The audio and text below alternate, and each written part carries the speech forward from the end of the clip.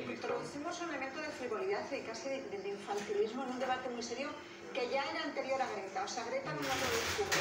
Que yo admiro eh, que, bueno, la conexión que ha tenido con la gente más joven.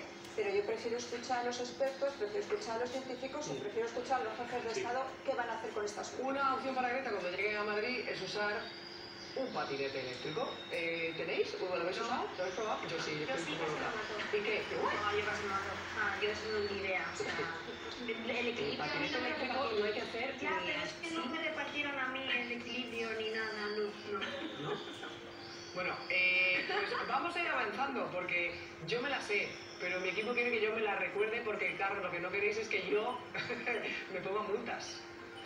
No queremos que te multen y la DGT tampoco, por eso a la espera de que se publique la normativa que está en tramitación, nos recuerdan cuáles son las obligaciones y también las